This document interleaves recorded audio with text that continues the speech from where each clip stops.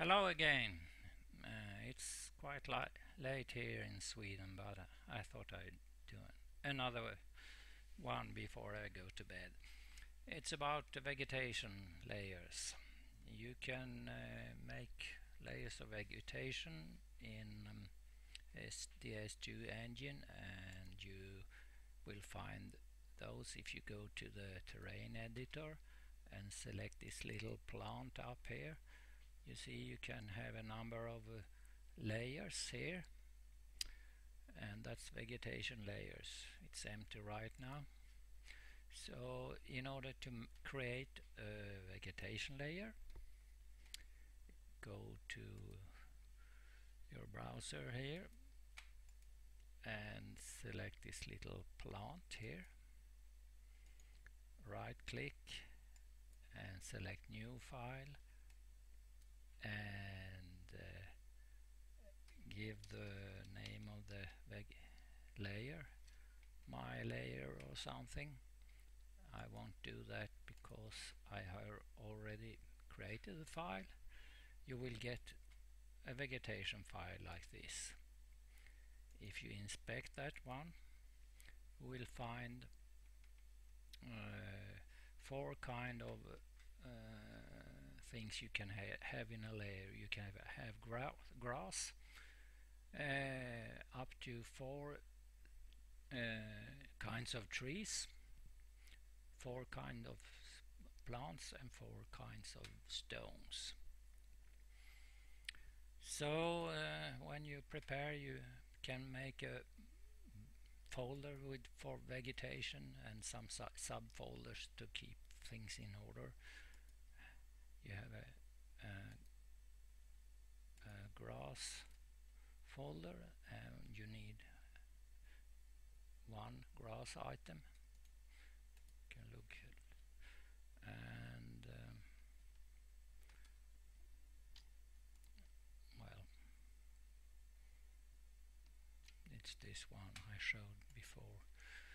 Uh, you will need some plants of various kind, bushes and so on. Four of them.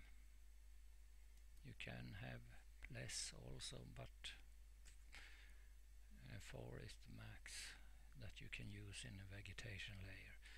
Some rocks and some trees. So then we have grass, plants, rocks and trees. If we then select our vegetation layer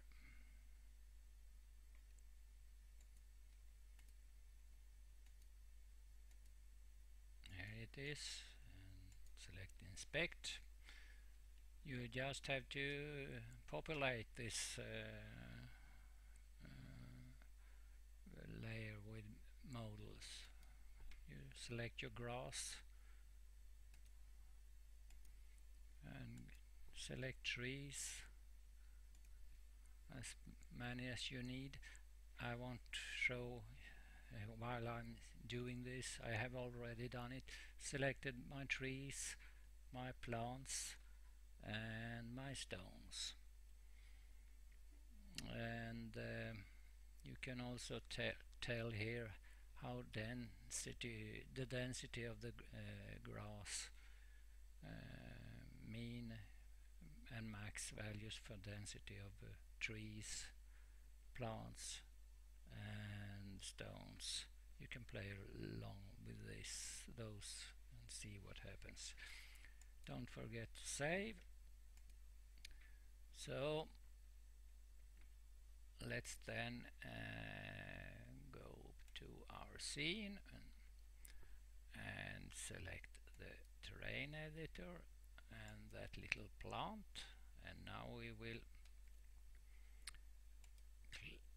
uh, assign our first layer click on assign and select the vegetation file you made. Like that. And uh, now you can uh, paint. Out here. Oops. You paint by with left mouse button like that. And you delete by holding control like that. So that's essentially how this works. And you can have a number of layers for different parts of your scene.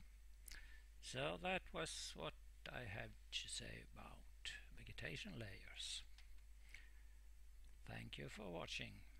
See you